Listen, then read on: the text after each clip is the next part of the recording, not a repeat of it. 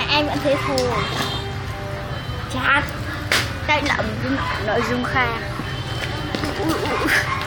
mày nói